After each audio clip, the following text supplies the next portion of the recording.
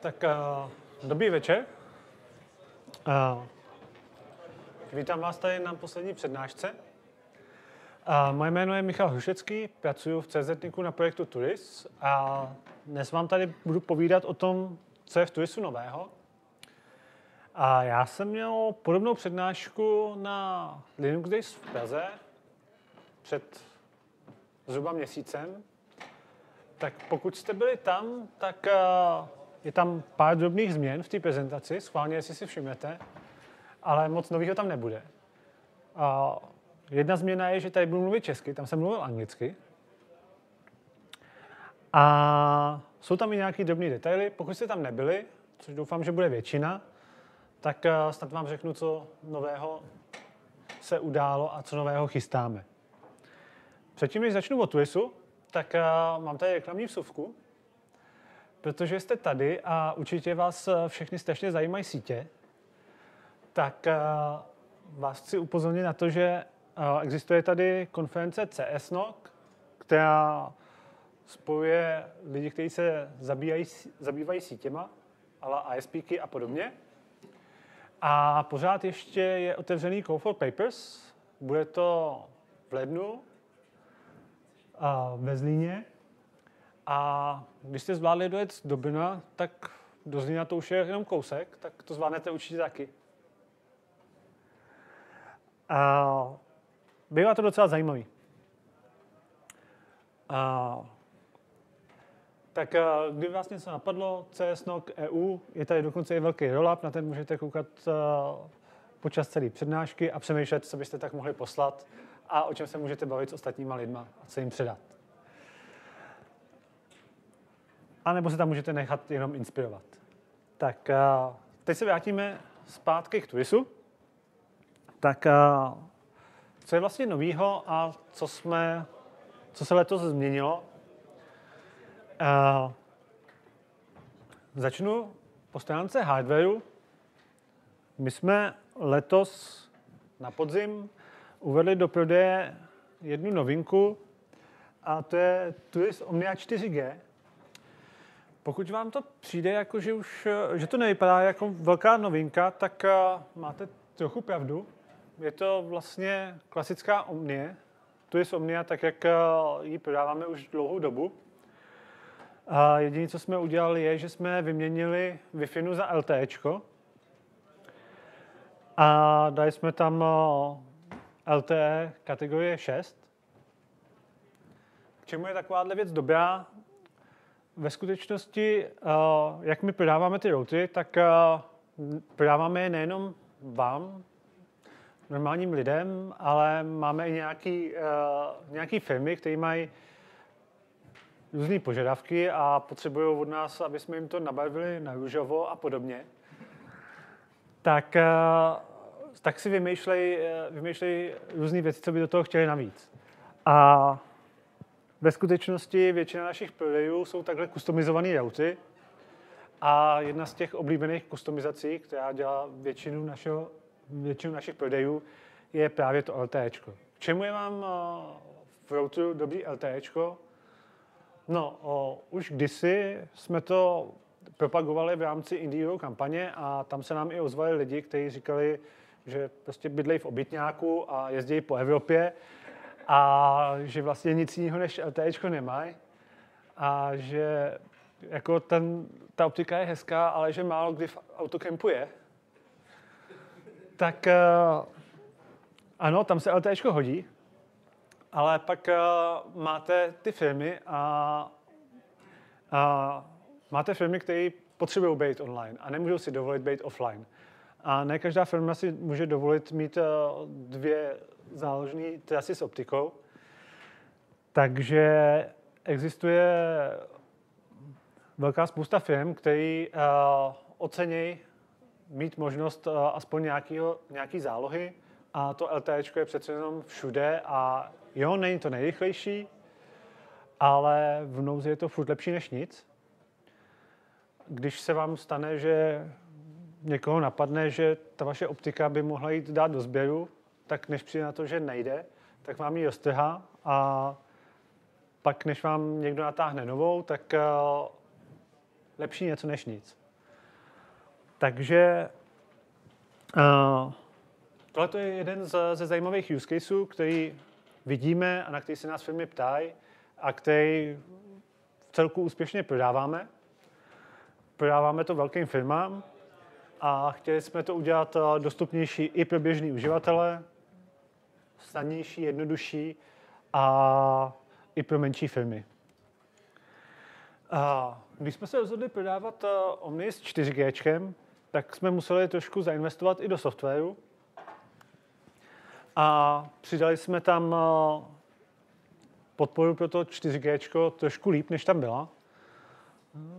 Do TuiS OS 6.4.3 jste si museli vyklikat v a nastavit si to všechno ručně.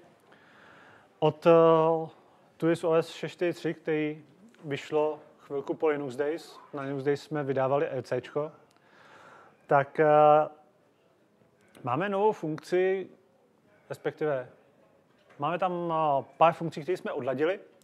Už nějakou dobu umíme to, že když vy si pořídíte nějaký nový hardware a zapojíte ho do Omnie, tak uh, update je schopný zdetekovat, co to je. To znamená, update kontroluje, jaký máte zapojený USB zařízení, kontroluje, jaký máte karty v uh, PCI Express slotech.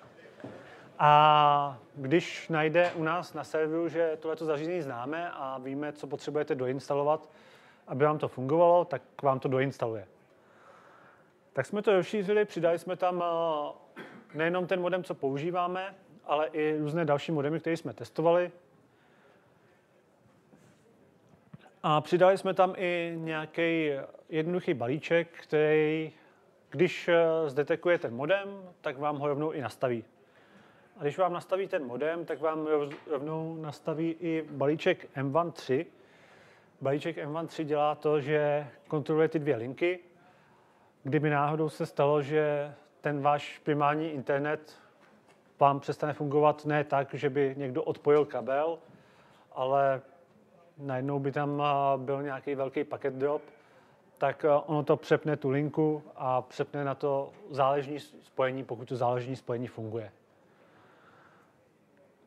Takže by to mělo být velmi jednoduchý a intuitivní, stačí aktualizovat a LTE by se mělo rozběhnout, pokud nemáte na SIMce nastavený PIN. Pokud máte, tak ho ideálně odnastavte předtím, než to strčíte do routeru. Uh, máme tam ještě jedno to-do, a to je nějaká lepší integrace do eFoisu.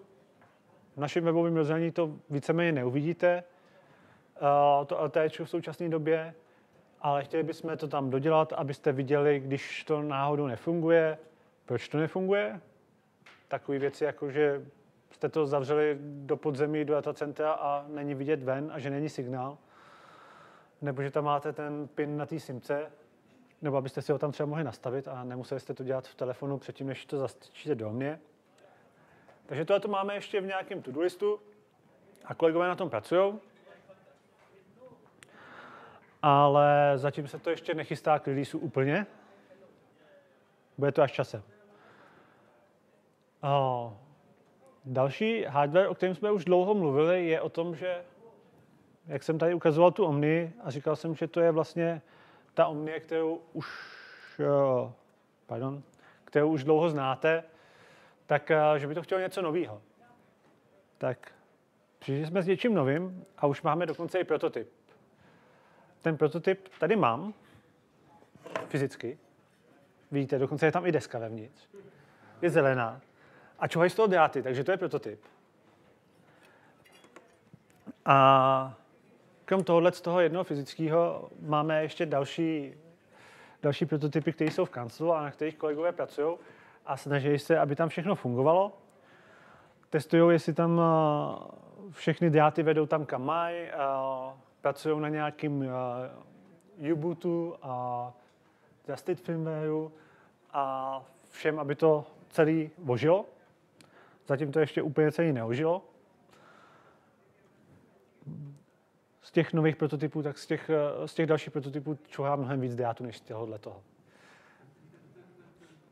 A furt se počítá s tím, že tam dáty budou přibývat a další věci.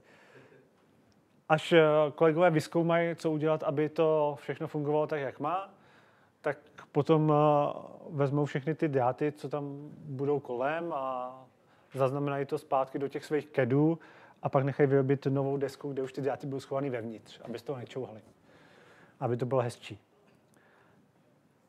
Tak tohle zařízení teda teďka máme ve fázi prototypu, snažíme se to nějak oživit, rozjet, zjistit, co tam všechno je dobře, co je tam všechno špatně a připravit nějakou výrobu. A pořád věříme tomu, že v druhé půlce 2024 by to mohlo být na trhu. A dokonce už sice nám to ještě úplně neběží, a ještě jsme to žádným zákazníkovi nepůjčili, aby si na to pustili nějaký benchmarky, ale už na to máme objednávky.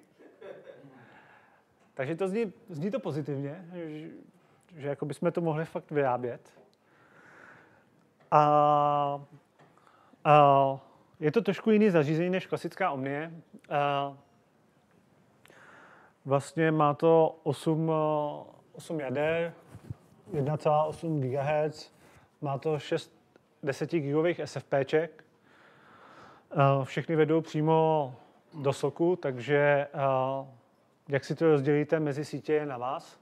Jsou to vlastně oddělené síťovky, ale eh, to CPU má podporu hardwareové akcelerace, ehm, podporuje hardwareovou akceleraci bridgingu na úrovni L2, takže si je můžete prosvičovat, který z nich budete chtít. A jedna z věcí, co jsme udělali, je, že vlastně ramky jsme dali do, uh, do slotu, takže ramky se budou dát upgradeovat. Zvládne to až 64 GB ramky. Když nebudete chtít uh, využívat uh, veškeré ty CPU jádra na nějaký IDS a podobné věci, tak uh, si tam můžete spustit nějaký serverové aplikace, pustit tam nějakého birda a podobné věci. Jak to vlastně vypadá? Tady je fotka předtím, než eh, to kolegové začali rozcházet, bez všech těch drátků. A máme tam jenom těch 6 SFPček. Pořád si hrajeme s eh, ideou, jestli tam dávat Ethernet, ale zatím jsme dospěli k závěru, že nemá smysl tam dávat fyzický Ethernet, že k tomu přibalíme jedno SFP, kdyby náhodou někdo tam chtěl dát ten, ten Ethernet, protože přece jenom u těch 10 gigabitů to člověk nechce tahat klasicky po normálních kabelech, ale chcete tahat buď tou optikou, nebo tam stačí nějaký DAC kabel do nějakého switche, kam se to rozvede dál. Máme tam uh, M2 slot na Wi-Fi, Máme tam i mini PCI Express slot na Wi-Fi. Opět počítáme s tím, že by se tam dali osadit eh, dvě Wi-Fi. Dneska už možná uvidíme, jak, eh, jak to bude příští rok. Eh, Wi-Fi 7 se začíná objevovat. Třeba už bude něco rozumného. Tak pak by tam třeba stačila už jenom jedna. A máme tam M2 slot, do kterého je vyvedený i USB, protože fakticky 4G a 5G modemy fungují přes USB.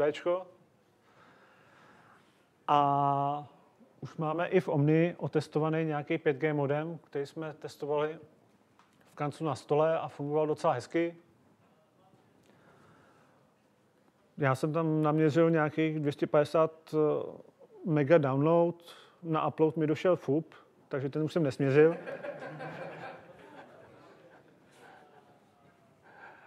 Ale pak jsem si půjčil nějakou, nějakou simku eh, jinou a tam jsem naměřil 100 megabitů symetricky.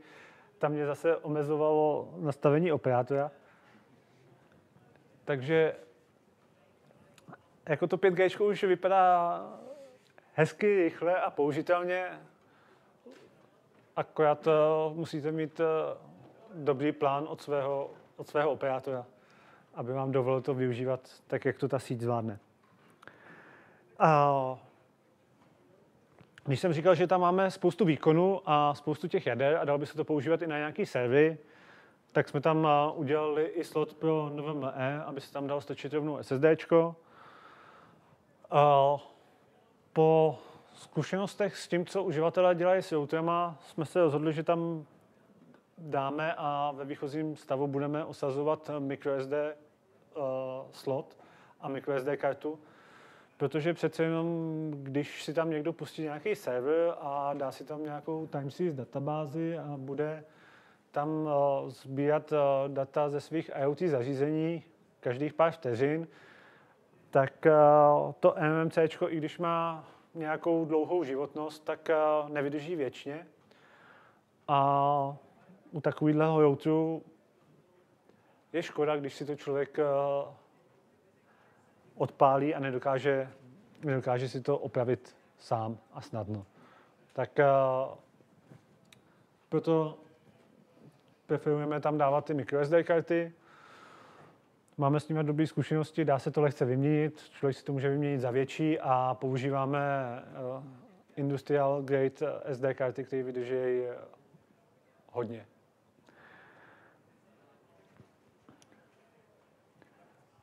No, takže uh, to je na co se můžete těšit uh, příští rok. Letos ještě ne. A chystáme i něco dalšího. Tam vám neukážu obrázek. Tam uh, zatím nevíme, jak to bude vypadat. Nevíme, co to bude. Víme, co bychom od toho chtěli. Uh, jak jsem mluvil o té Omni, že ji tady vyrábíme už dlouho, tak uh, pomalu by to chtělo něco nového. A pořád ještě ladíme, co by to tak mohlo být a na čem by to mohlo být postavený. Cíl je nahradit eh, současnou Omni, ale nahradit ji tak, aby jsme zůstali v podobné cenové hladině a byli o trochu výkonnější, ale nemusí to být tak výkonný jako Omnia Enterprise. Potřebujeme určitě, aby to mělo 64-bitový CPU, protože to nám spousta lidí vyčítá. Ono, prakticky to není žádný problém v té Omni, ale uh, spousta Linuxových distribucí už uh, zařezává podporu pro 32 bit, tak uh, ať jsme ready na budoucnost. Uh, zrovna před zrovna to se nám stalo, že vlastně Linux Containers zařízli 32-bitový ARM, takže jsme museli hledat, jak poskytovat lidem na Omni kontejnery. A pro spoustu distribucí jsme našli, akorát uh, Debian nepublikuje tarboly, protože pokud si chcete nainstalovat Debian, tak přece máte Debian. Tak máte použít debootstrap na instalaci Debianu. Takže tam jsme tarboly nenašli, ale třeba se časem někde objeví nějaký. Takže chceme 64-bitový CPU a chtěli bychom alespoň dva, dva půlkový porty. A současná Omnie má jeden dva půlkový port, což je hezký, ale chtěl by to mít dva, alespoň. Samozřejmě strašně rádi bychom byli za to, aby to nebylo tak, že budou dva dva půlkový porty, Rádi bychom, aby, byly, aby tam byly dva desítkový porty a zbytek portů byly dva půlky. Ale uh, tam uvidíme, jak nám to půjde, hledání toho, na čem bychom to postavili a hlavně uh, náš základní uh, náš základní uh, podmínka je, že bychom chtěli zachovat tu cenu. A chtěli bychom, aby nám to neuteklo někam pryč a nebylo to něco podobně drahého jako Omnia Enterprise. Otázka? Aha. Já se mluvám, že neznám, jaký teďka podporujete. Mě to zajímá z pohledu nejenom výkonu, ale z pohledu chlazení. Máte nějaký modely, kde nemusíte aktivně chladit, jakože pasivní chlazení to zvládá, nebo ne? Jde mi o to, že jo. Otázka byla na pasivní chlazení. Všechny doty, které děláme, jsou pasivně chlazený. A i ta Omnia Enterprise, vlastně, když já ji tady vemu, tak eh, když se podíváte, tak po stranách jsou takový velký chladiče. Vevnitř, co mi tady chybí, ale je to tady na to vyřezaný, tak tam jsou nějaký heatpipy. které tam budou a budou odvádět právě teplo z toho CPUčka do těch bočních chladičů. Takže u Omnia NG, u toho nástupce Omnie, určitě budeme pasivně chlazený a u té Omnia Enterprise věříme tomu, že to taky vyjde. Dali jsme si s tím záležet. Bylo to jedno z kritérií, proč jsme vlastně, uh, proč nám to trvalo tak dlouho, protože když jsme dělali nějaké testy, tak uh, vlastně jsme měnili CPUčko. I jeden z důvodů byl, že by mělo uh, být úspolnější a méně topit. A je to pro nás jeden ze zásadních, uh, jedna ze zásadních podmínek. Nechceme tam mít aktivní chlazení, chceme, aby to bylo schopný, ač uh, vlastně u toho Engage, uh, u té Omnia Enterprise, uh, tam už máme by design, máme to udělané tak, aby se to na výšku vyšlo do jedna účka. Máme k tomu nějaký back mount nachystaný. Krabice je taky prototyp, ještě se bude vyvíjet.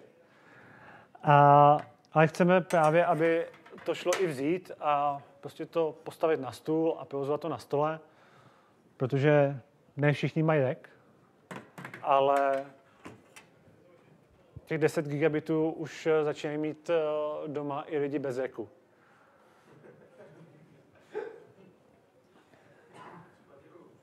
Takže chceme, aby všechno bylo pasivně chlazené a aby jsme to uchladili. Uh, dobrá, takže uh, u té nové Omnie chtěli bychom dvě desítky a pár dva půlek, chtěli bychom Wi-Fi 7, uh, chtěli bychom, aby to stálo půlku toho, co Omnie, ale uh, myslím si, že se nám, uh, ta cena se nám nepovede. Tam jsem si skoro jistý.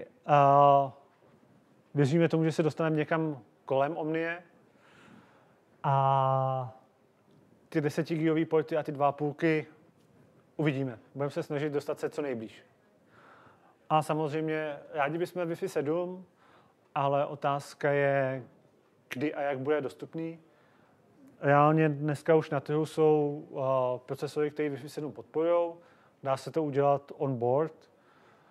Uh, zatím existují karty, existují dokonce i karty, které se dají teoreticky koupit a stočit uh, do té Omnie, aby člověk mohl mít Wi-Fi 7 akorát když jsme to naposled kontrolovali, tak stále víc než ta Omnia Enterprise. Takže eh, to zatím nedávalo úplně smysl, ale věříme tomu, že eh, až bude tu Wi-Fi 7 vyrábět víc výrobců, tak eh, že ta cena bude příznivější a že se tam dostaneme.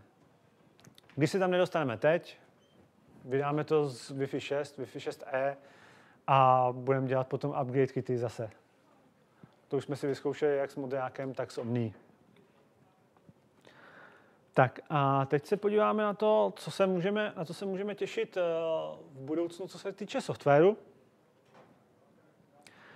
A vlastně, co teďka chystáme s kolegy, je další verze TUIS OS, eh, pořád ještě šestkový řady.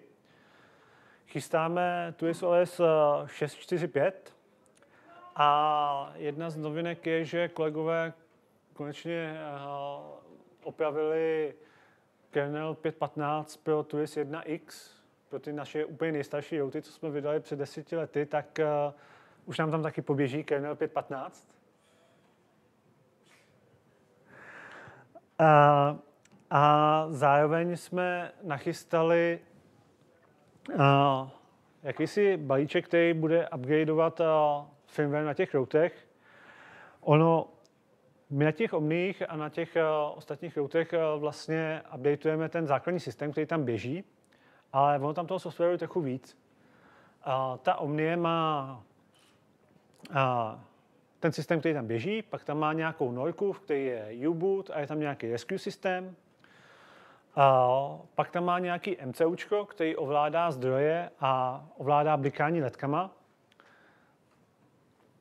A pak je tam ještě v tom vnitřním storage, tak tam je ještě uh, factory image, který se použije, když uděláte factory set. A vlastně, když jste si koupili tu Omni z kampaně, tak jste tam měli tu OS 3 a my jsme teďka na verzi 6. A když uděláte factory reset, tak to není úplně, úplně ideální. Jako updateovat uh, sedm let uh, vývoje. Moc se tam vám to hodně změní.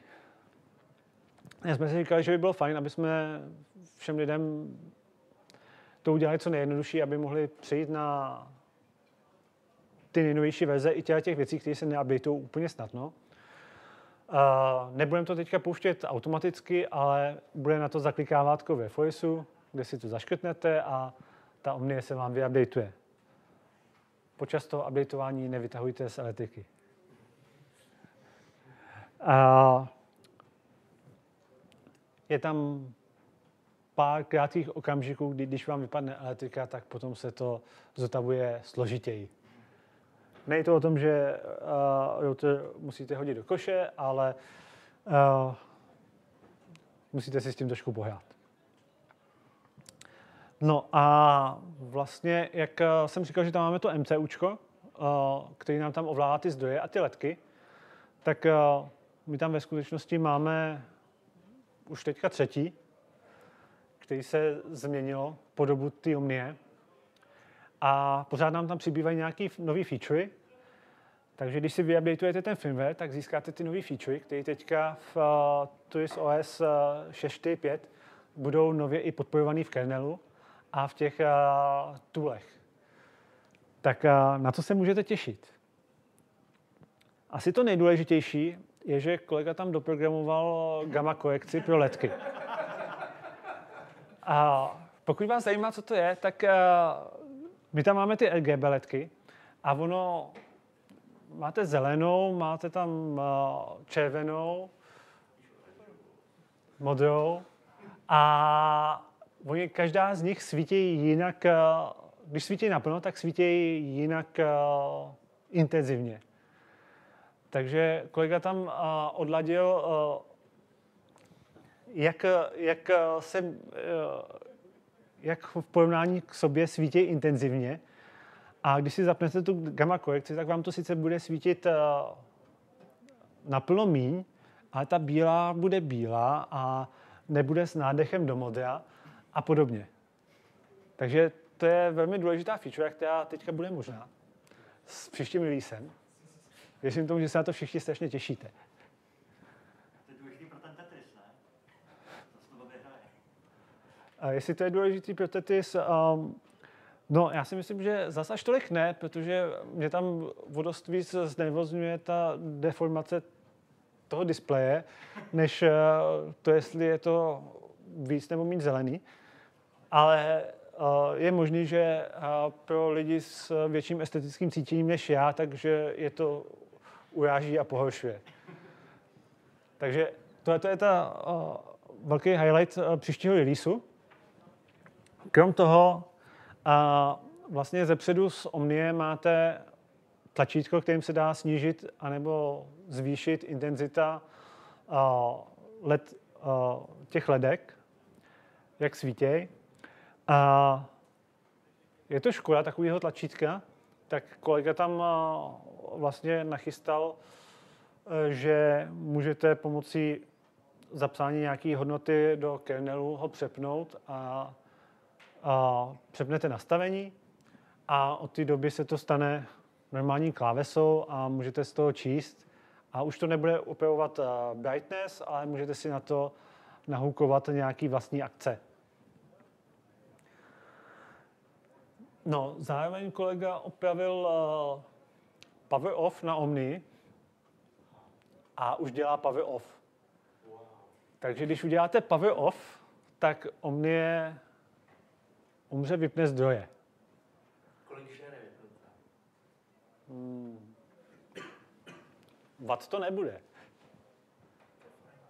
Protože fakticky, uh, fakticky je tam připojený akorát to napájení a je napájený MCUčko a, a ETCčko. Ale když ji, chcete, když ji takhle vypnete, tak potom by bylo fajn i zapnout. Takže kolega tam doprogramoval ještě druhou věc, a to, že můžete tomu MCUčku říct, kdy vám ji má zbudit.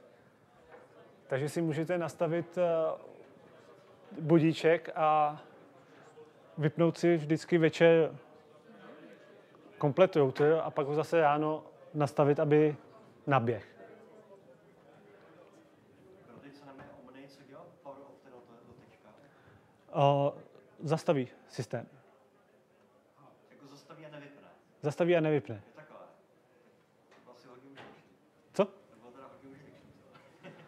No, jak, uh, ona to spousta těch embedded zařízení takhle dělá, protože Power off děláš, Power off se typicky řeší tak, že vytáh, vytáh, vytáhneš elektriku a vlastně typicky zařízení nedělají Power off, ty, který mají běžet furt.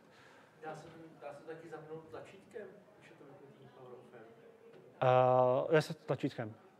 Nebude fungovat Wacom. Uh, LAN fungovat nebude, protože MCUčko není připojený k LANu. Teoreticky by mohlo fungovat nějaký Wacom I2C,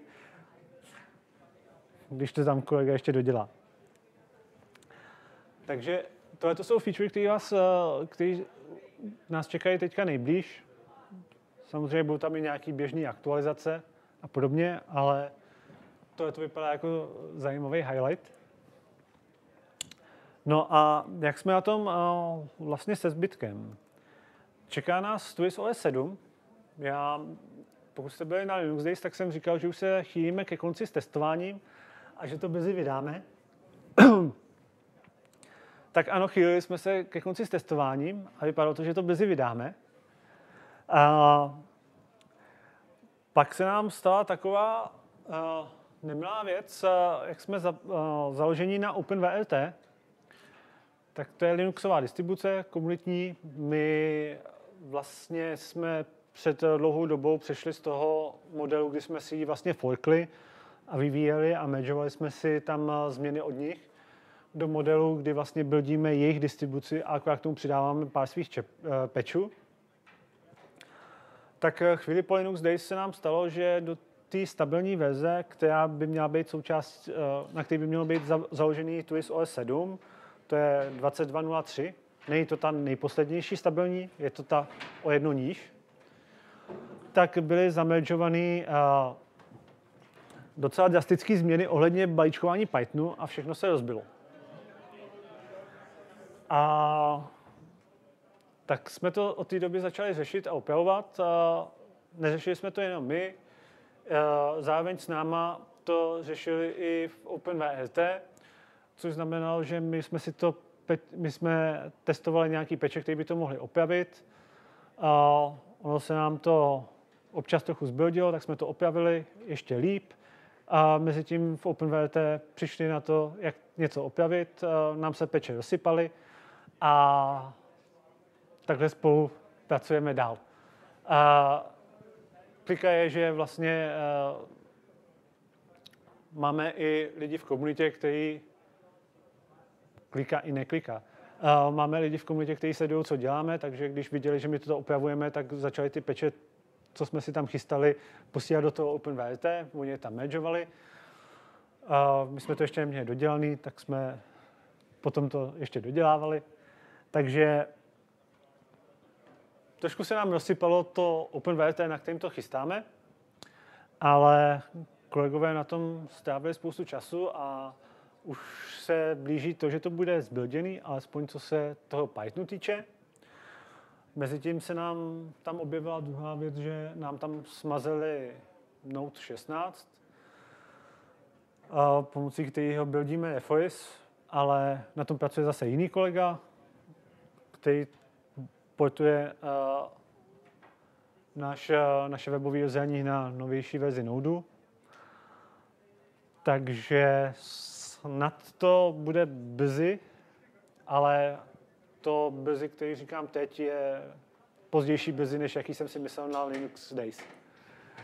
Na Linux Days to vypadalo fakt na spadnutí, teďka to vypadá, že za chvíli se dostaneme do stavu, že to budeme mít všechno opravené a budeme to zač- začneme to zpátky buildit a budeme moct ještě jednou to protestovat, jestli tam náhodou mezi tím, mezi dobí nepřistávají další věci, které něco rozbíjejí. Co? Jo. Která verze Pythonu nám to rozbila? To nebyla verze Pythonu. A ono ve skutečnosti tam byly nějaké updaty Pythonových balíčků a uh, oni tam nabackportovali způsob, jakým se balí Python v novějších verzích OpenWrt, který to rozbil. A já se přiznám, že Pythonu nerozumím, ale myslím, že klíčové slovo bylo PyProject TOML. Tak uh, tahle věc. Pokud rozumíte Pythonu, tak, jste o tom, tak uh, to klíčové slovo by vám mělo dát hint. To byl asi 5, 517, ne? Ten nový, nový způsob. Tady v publiku zaznělo PEP 517. Myslím, protože to je to, na čem teď, na co teď přicházím na Alpineu a je to asi nějaká, nevím, něco na, na výlet postavený. Jak se No. přehled, tam to jako různých způsobů. Tak možná PEP 517, ale PIP Project Toml. Podle toho se to dá dohledat. No. Můžu tomu?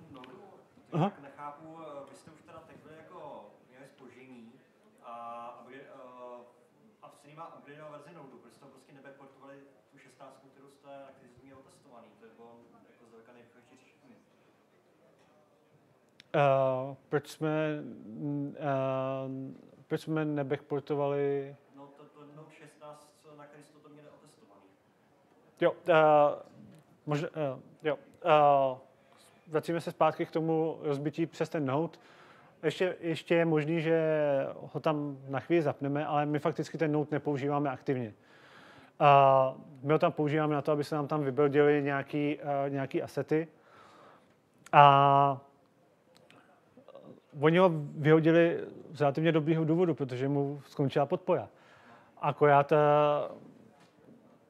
spousta distribucí, o, jsou tady takové distribuce, třeba tam vedle v chodbě, které mají, a pak jsou tady takové jiné distribuce, které jsou v tomhle tom ještě uchylnější, jako ten Debian, který tvrdí, že když něco jednou vydáte, takže by to mělo zůstávat uh, víceméně na stejných, uh, na stejných verzích a mělo by to být API ideálně i API kompatibilní, tak uh, na tohle se v OpenWrt úplně nehraje. Eh, A my jsme doufali, že ne aby, ale že aspoň ty, ty verze nám tam zůstanou a aspoň ten build systém nám zůstane stejný. Uh, jo, pořád je ještě validní argument, že tam ten Note 16 na tu chvíli dáme, než přejdeme na sedmičku, teda než, než to opravíme, ale my tak jako tak chceme přemigrovat na tu novou verzi Node, takže na tom pracujeme a uvidíme, co bude rychlejší a tak jako tak přejdeme na tu novou verzi postupem času. OK, zpátky k eh, velkému updateu na TwistOS 7. Uh, první verze TwistOS 7 bude čistě o updateu na novou verzi OpenWrt. Uh, když jsme dělali update na TwistOS 6, tak jsme si tam eh, přichystali spoustu nových feature a ukázalo se, že to nebyl úplně dobrý nápad, tak eh, chceme ten eh, TwistOS 7 udělat co nejmenší. Bude to čistě migrace na novou verzi OpenWrt. Žádný extra feature, nebudeme ani přecházet z IP tables na NF tables, který se pomalu stávají novým defaultem v OpenWrt. Všechno toto si schováme až do dalších releaseů. Jedna z věcí, co máme nachystanou a věříme, že to ještě uh, věříme, že to zapneme do té doby, než uh, budeme přecházet na TuiOS 7. Jsou nějaký staging updaty, kdy vlastně rozdělíme náhodně všechny routy, které máme a které mají zapnuté automatické aktualizace do několika skupin a budou aktualizovat postupně po dnech, aby kdyby se tam náhodou objevilo, objevil nějaký problém, tak aby jsme byli schopni těm lidem, kteří skončí v té pozdější skupině, to ještě opravit. Všechny další featurey, které přicházejí z TwistOS 7 a jako ta migrace na NF tables, tak přijdou až v těch následujících releasech. Čeká nás i TwistOS 8, protože už je venku uh, OpenWrt 23.05. Aktuálně na tom vůbec nepracujeme, protože se soustředíme na tu sedmičku a aktuálně se nám to ani nebuildí. Ale jakmile doklepeme tu sedmičku, tak se vrhneme na tohleto a, a budeme se snažit a, přejít na tohleto co nejdřív. Uvidíme, co tam všechno bude za nový feature a jak moc rozdílný to bude a jestli nebude výhodnější si předpřipravit něco v nějaký TUIS OS 7.1, ale přejít na to NF Tables a teprve potom na osmičku. Ale zatím je to hudba daleké budoucnosti a věřím, že TUIS OS 8 nebude letos. Co? Letos je jenom měsíc. No, proto nevěřím, že to letos bude. Uh, další novinky. Uh, vlastně minulý rok uh, jsme začali publikovat z TUI Sentinelu uh, security reporty.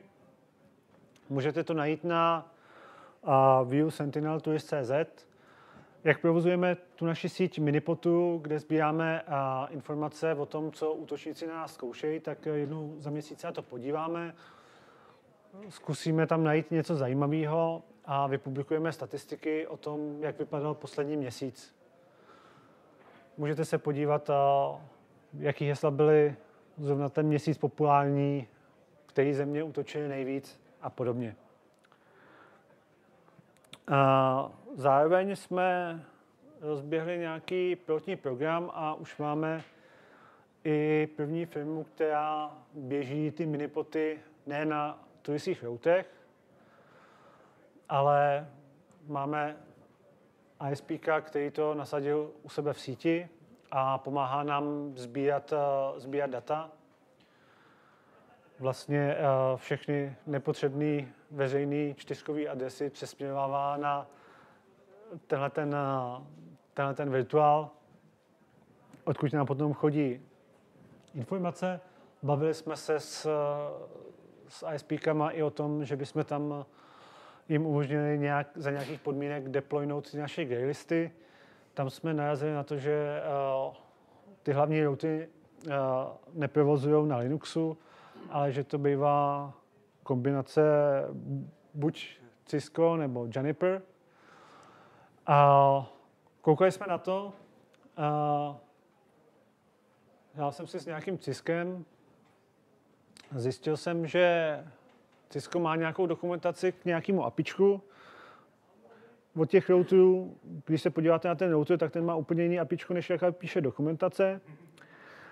Když s tím chcete komunikovat, tak si musíte nainstalovat Debian Old Stable, protože nic jiného nepodporuje tak starý šifry, abyste, abyste vůbec se potkali někde s tím Ciskem protože všechny moderní distribuce ty šifry už dávno vyřadily, že to je nebezpečný a nikdo to už nepoužívá. Takže jsme zjistili, že s těma těma enterprise routama bude těžký se domluvit, ale naštěstí v CZ máme takový jeden tým, který vyvíjí nějaký routovací demon Bird.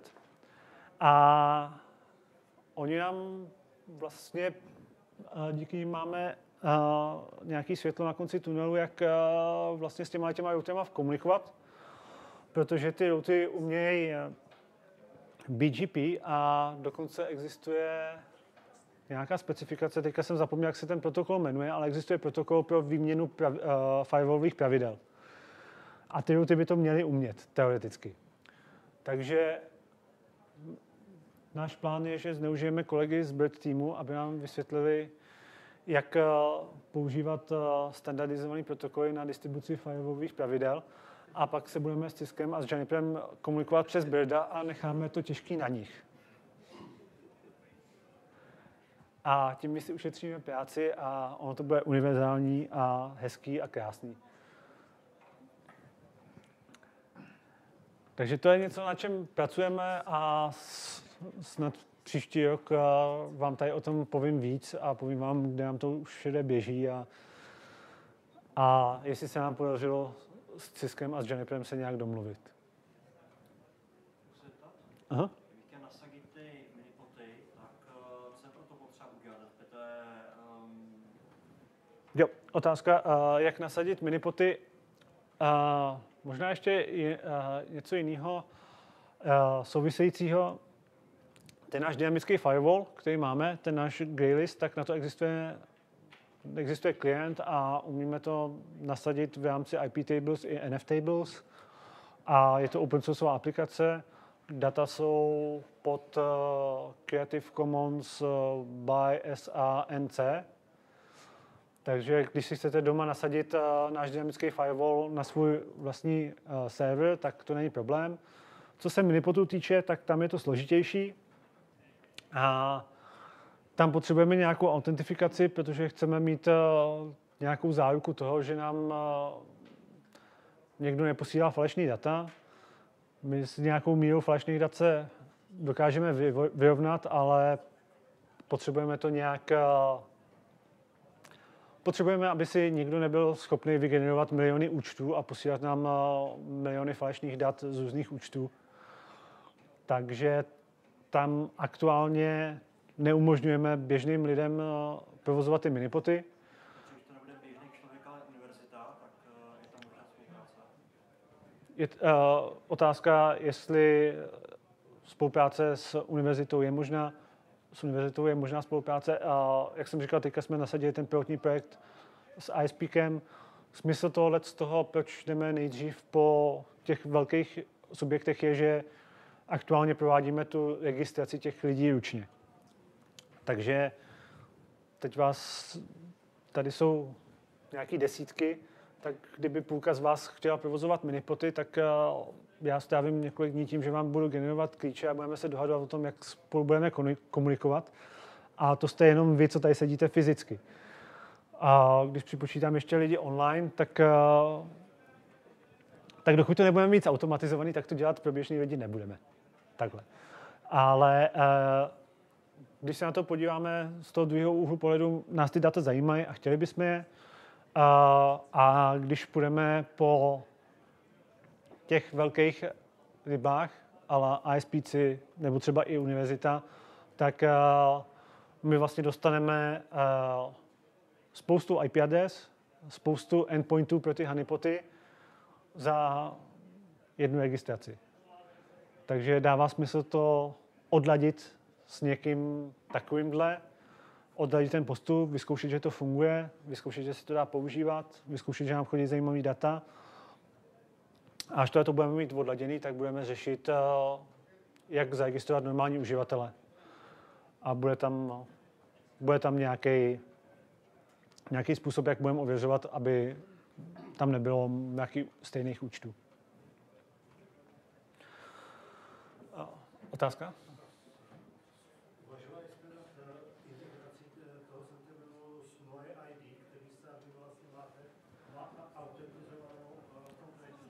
Otázka, jestli jsme uvažovali nad integrací uh, Sentinelu s moje ID. Ano, to je jedna z věcí, o které uvažujeme. Problém je, že potřebujeme, aby to bylo, ještě, aby to bylo dostupné i pro lidi v zahraničí, kde to moje ID úplně není. Ale v Čechách se dá použít uh, relativně snadno moje ID na to, aby jsme si ověřili a spájovat to s moje ID účtem, který bude alespoň nějakým způsobem verifikovaný. A to by mělo zamezit tomu, aby si každý vytvářel miliony účtů. A existují i další podobné projekty. Fakticky v Evropě máme EIDAS. Nevím, jestli se dostaneme k takovýmhle datům. A, a potom celosvětově existují další komunitní projekty pro ověřování. Jedna z věcí, co mě láká, je použít k tomu CACERT. Uh, jestli to neznáte, tak uh, je to komunita lidí, kteří se vzájemně ověřují. A pak uh, existuje služba, která vám vydává osobní uh, certifikáty SMIME, který můžete používat pro podepisování svých e-mailů nebo webu.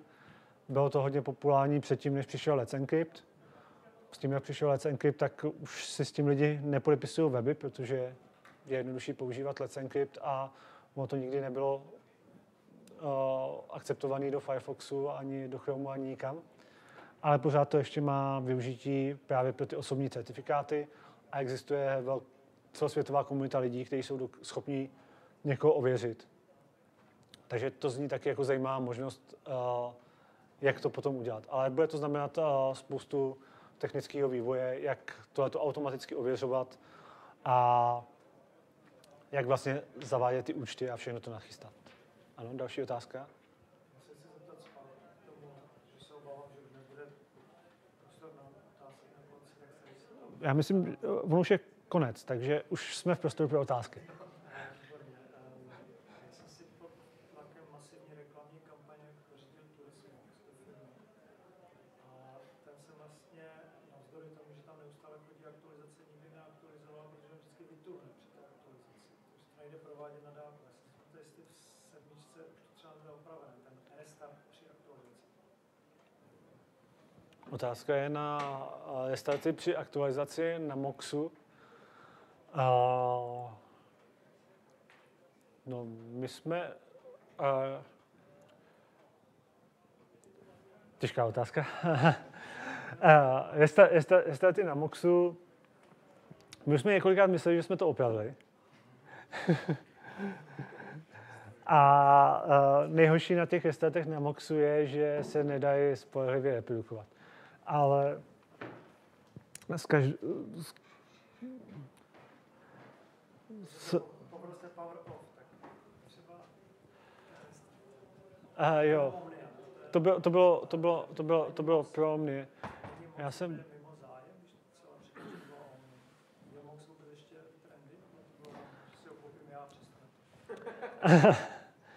Uh, otázka budoucnost Moxe. Uh, my jsme v Moxe hodně věřili a doufali jsme, že to bude směr, kterým se budeme ubírat. Bohužel se ukázalo, že uh, jsme se úplně netrefili. A naše idea byla s Moxem, že budeme dělat modulární router a že lidi si ho budou moc upgradeovat, budou si ho moc přeskládávat a tak dále. A v konečném důsledku se prodával jako sestava Omnie. A to bylo to, co se prodávalo nejvíc. A i to se neprodávalo tak dobře jako Omnie, protože vlastně ta Omnie byla lepší. Takže se ukázalo, že ten MOX byl no, pro lidi asi moc složitý. Takže i proto, jak jsem představoval Omni NG, tak nepředstavuju MOX NG, protože vlastně trh, trh, trh ukázal, že lidi nechtějí Lego v elektronici. Na tom restartu občas pracujeme.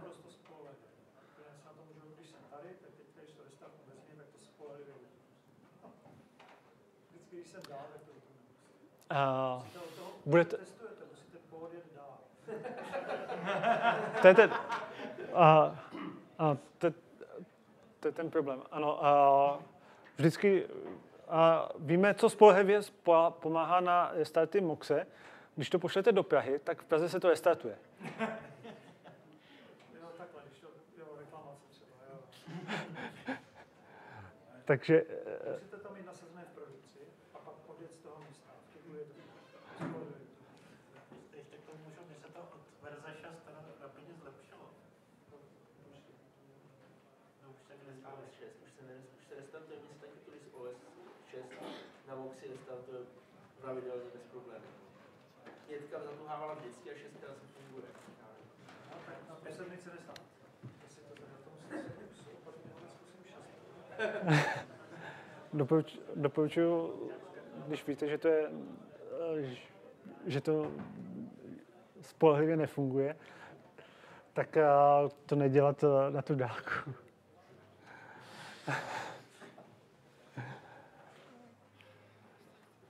To mi stávalo taky, že vždycky, když jsem Jo, a- z domova, tak přišel nový update, restart. Feedback eh, na restarty Moxe, eh, eh, jen pro záznam, eh, v publiku jsou lidé, kteří, kterým to Twist OS 6 opravilo.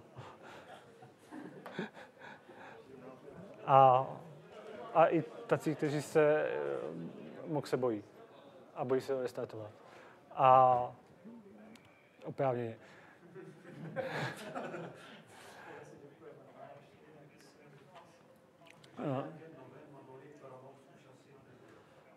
Otázka byla na nové moduly pro MOX. Neplánujeme žádné nové moduly pro MOX.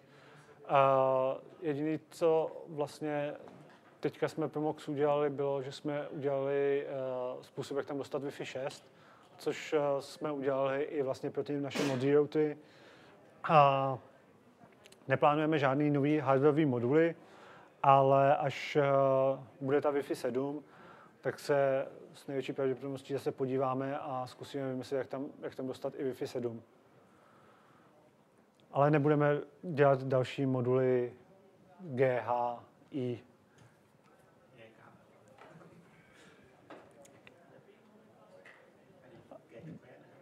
Jo, G je. Tak HI. Další otázka? Pardon, uh, počkejte chvilku.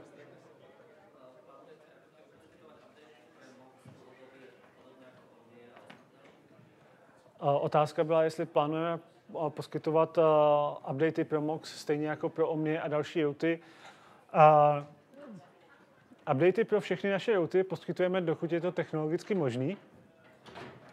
A tam pomalu začínáme najážet na omezení pro TUIS 1X, protože ten byl postavený na platformě PowerPC, ale ještě k tomu na platformě PowerPC bez hardwareových floating pointů, ale respektive on má hardwareový floating pointy akorát jiný než normální PowerPC. Takže je to takový divný PowerPC a víceméně už podpora pro něj vypadla z GCC, podpora v kernelu uvidíme, jak dlouho se ještě udrží, takže tam tomu hrozí, že za čas ho přestaneme podporovat. Ale, ale příští rok to ještě nebude. A co se o mě týče, tak tam věřím tomu, že 32-bitový ARM bude fungovat ještě dlouho. A co se MOX se týče, tak to je 64-bitový ARM, tak ten bude fungovat ještě díl. Takže tam aktualizace zastavit nehodláme.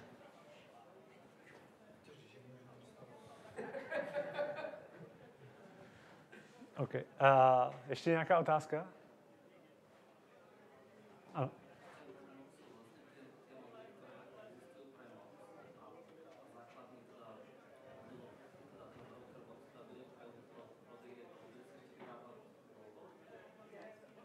Uh,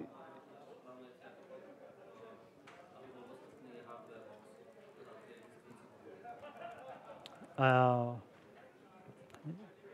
otázka, jak dlouho budou ještě dostupný, uh, jestli budeme ještě vyrábět další, další moxy a další moduly. Uh, neplánujeme vyrábět další moxy a ani uh, ty moduly, uh, ty, ani ty rozšiřující moduly. Vlastně to, co jsme vyrobili, tak to je k dispozici do vyprodání zásob a pokud se, pokud se neobjeví nějaký velký zákazník, který by strašně stál o moxe, tak uh, neplánujeme nějak dál rozšiřovat.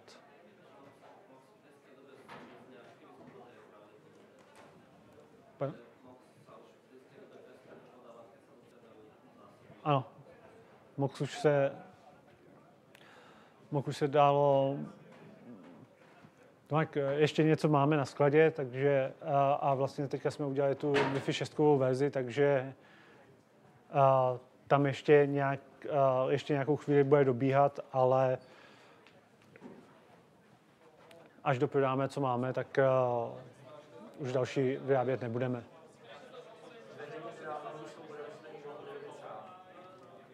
Až to doprodáme.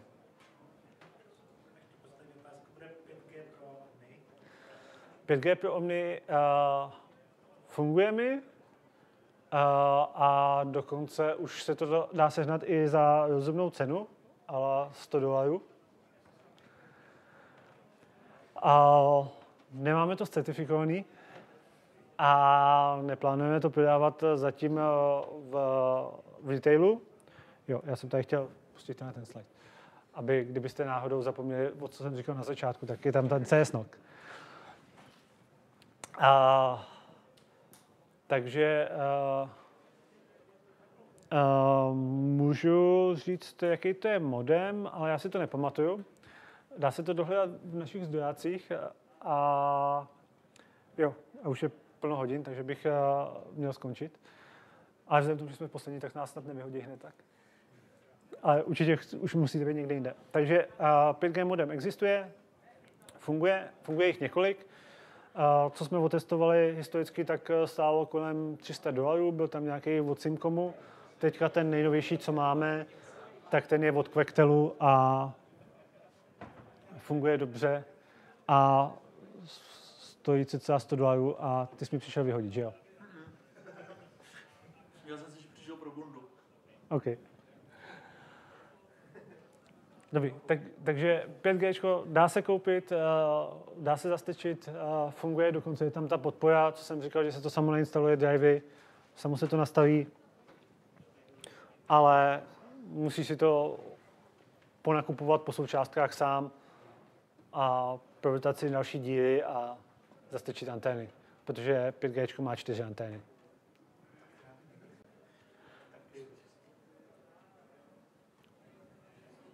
OK.